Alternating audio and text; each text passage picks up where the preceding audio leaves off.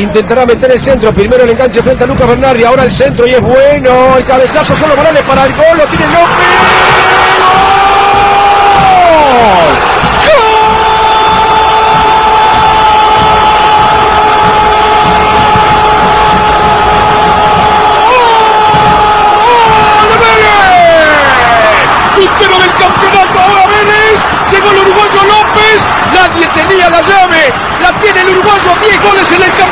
Como para no gritarlo, muñeco. Gana Vélez.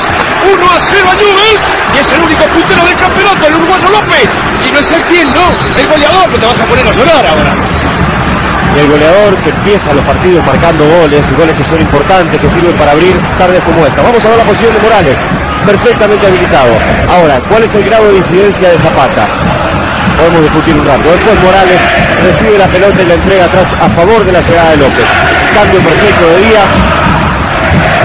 Zapata participa del ascenso, realmente creo que no. Estaba perfectamente habilitado Morales. Zapata va saliendo pero no interfiere en el camino de nadie, ni de los que defienden ni del arquero. Morales le cede la pelota a López que define ya casi sin resistencia. Un error colectivo defensivo de News saliendo sin presionar sobre quien va a lanzar. Gastón Díaz le permitió llegar solo a Morales y definir a Hernán Rodrigo López. 36 puntos para Vélez, 34 para Lanús. Todavía falta mucho.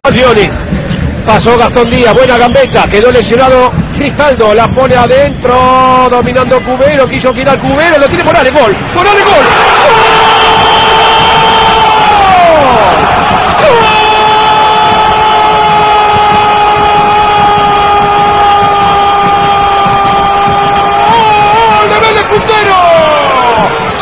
Sí.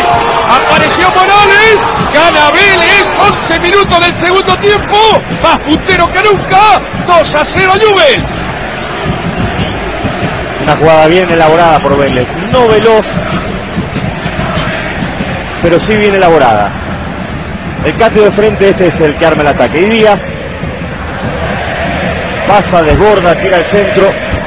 Cubero que parece terminar con la acción y el rebote después de la intervención de Schiavi, que con mucha fortuna, por eso lamento de Schiavi, con mucha fortuna le queda a Morales, en condiciones ideales. El despeje de Schiavi hacia adentro y Morales que recibe un penal con la pelota en movimiento y con el arquero saliendo, le pegó arriba, inapelable, consigue en el final del primer tiempo el 1 a 0 y en el inicio del segundo el 2 a 0 está muy tranquilo Vélez ahora. Viste que no dije nada, ¿no? No, por supuesto. Estoy tranquilo. No, está muy bien. Cubero, abriendo Cubero, viene para Gastón Díaz.